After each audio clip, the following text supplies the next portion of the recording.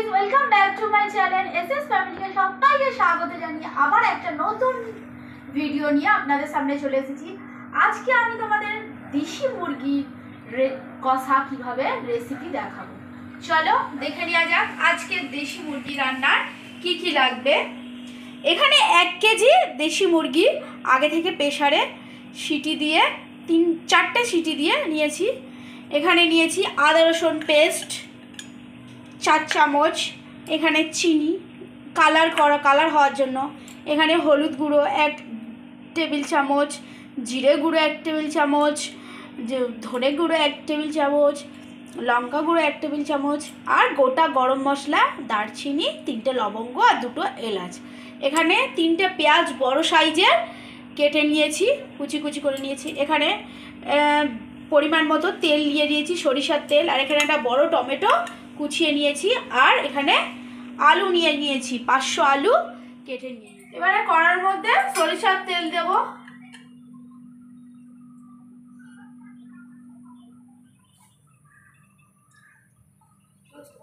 দিয়ে দেবো যাতে আলুটা না ফাটে। একটু, অল্প একটু হলুদ গুঁড়ো দিয়ে দেবো। অল্প একটু লবণ দিয়ে দেবো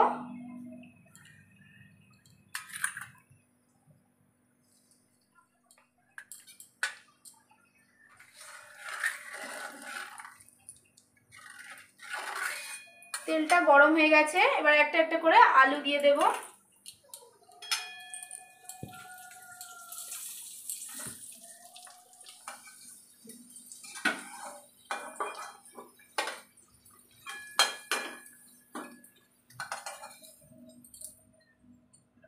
দেখুন, আলু ভাজা হয়ে গেছে। এবার কড়ার মধ্যে আর একটু সরিষার তেল দেব। গোটা গরম মশলা দেব।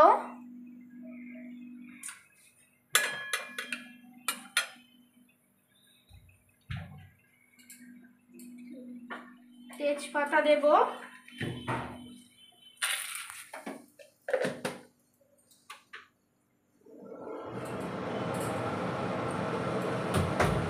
এবারে এখানে পেঁয়াজ কুচিটা দিয়ে দেবো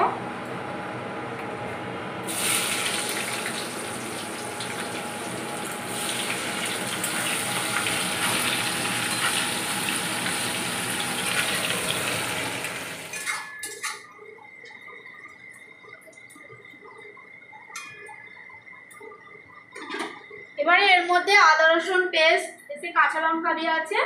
এই পেস্টটা পুরোটা দিয়ে দেবো। দিয়ে এটাও একটু ভাজা ভাজা করতে হবে, কারণ আদা, রসুনের গন্ধটা যাতে চলে যায়। কাঁচা গন্ধটা যে, সেই গন্ধটা চলে যায় যাতে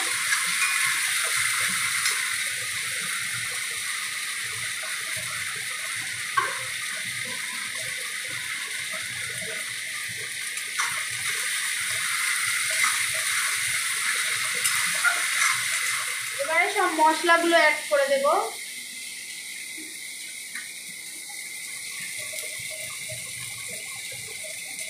লঙ্কা গুঁড়ো জিরে গুঁড়ো হলুদ গুঁড়ো সব একসাথে অ্যাড করে দেবো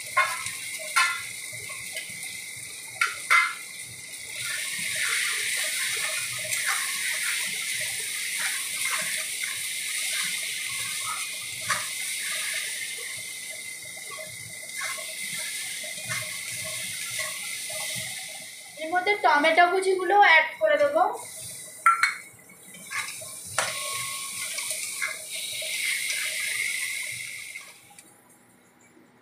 লবণ দিয়ে দেব।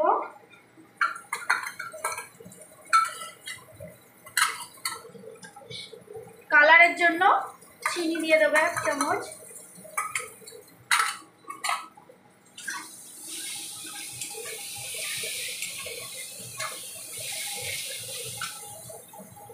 আরেক আর একটু পরিমাণে তেল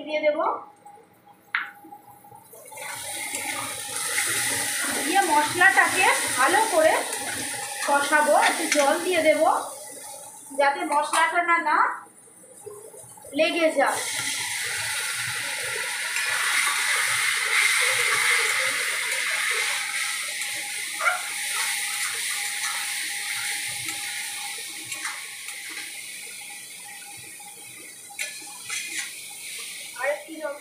ঢেকে দেবো যাতে ভালোভাবে তেলটা ছেড়ে যায়।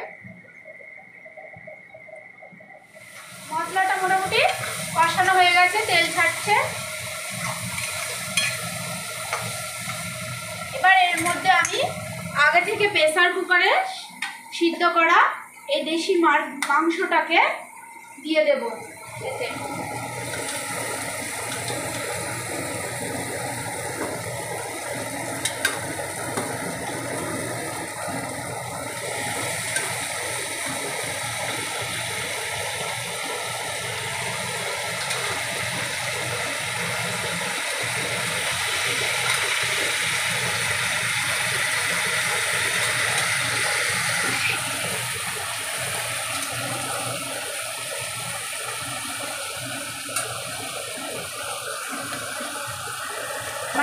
সি- সিটি মারার পরে অনেকটা মাংসটা থেকে জল বেরিয়েছিল এই জলটাও পরে দেব। আগে মাংসটাকে ভালো করে কষাতে হবে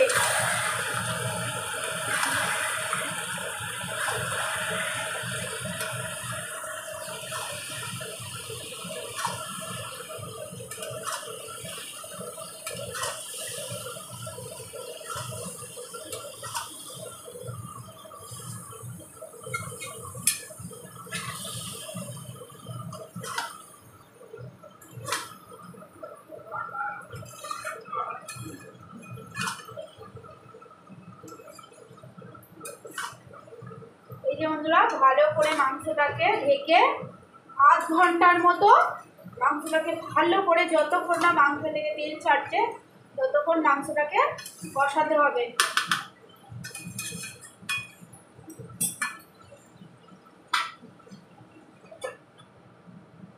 এটাকে আবার একবার করে নেড়ে নাড়াচাড়া করব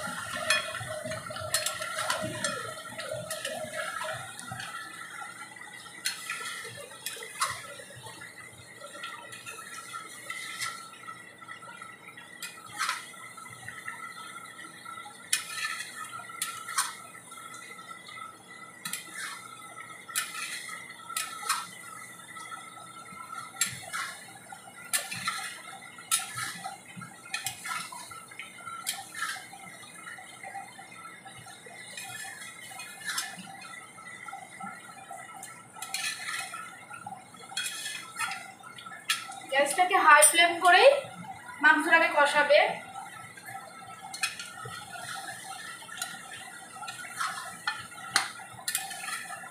মাংস থেকে তেল যতক্ষণ না ছাড়াবে ছাড়বে, ততক্ষণ পর্যন্ত মাংসটা কষাবে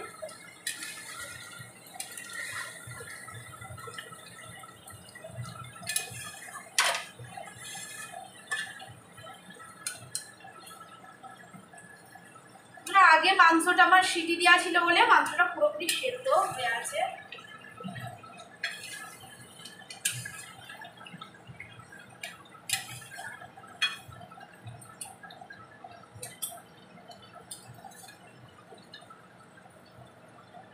আবার একটু ঢেকে দিলাম যে আলুগুলো ভেজে রেখেছিলাম সেই আলুগুলো অ্যাড করে দেব আলুগুলো দিয়ে দেব আলুগুলো দিয়ে ভালো করে কষাবো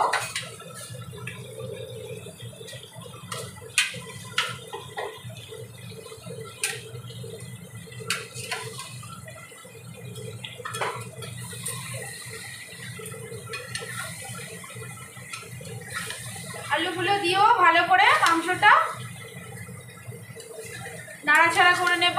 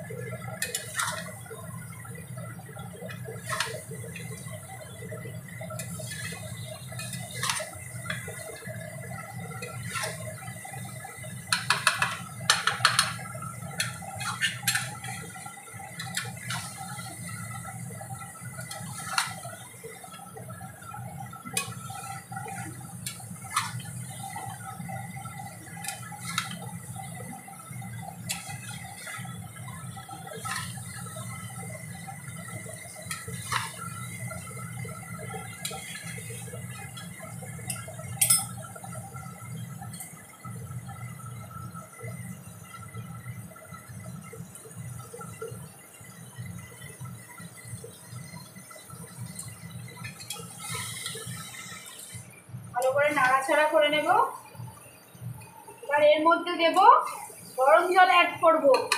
গরম জল দিলে স্বাদটাও ভালো থাকবে আর মাংসটাও ভালোভাবে নরমই সিদ্ধ থাকবে।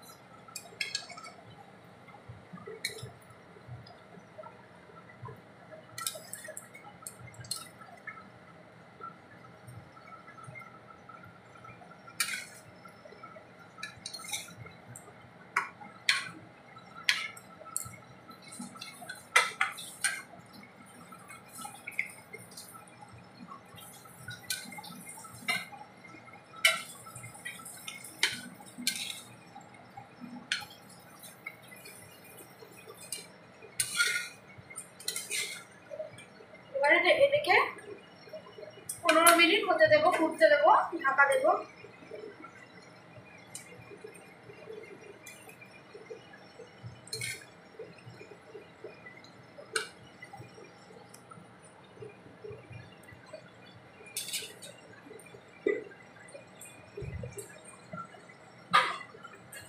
এটা পনেরো মিনিট হতে দেবো ঢাকা দেবো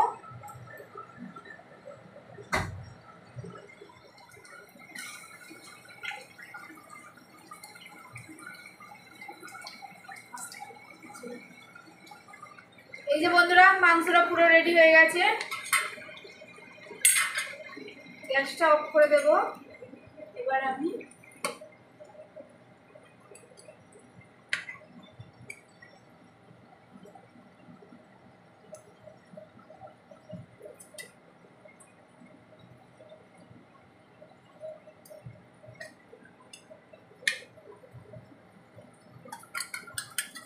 এই যে বন্ধুরা, মাংসটা পুরো রেডি রেডি হয়ে গেছে? এবার আমি আপনাদেরকে খেয়ে দেখাবো। গরম, সবে নামিয়েছি তো, খুব গরম। খাওয়া যাচ্ছে না।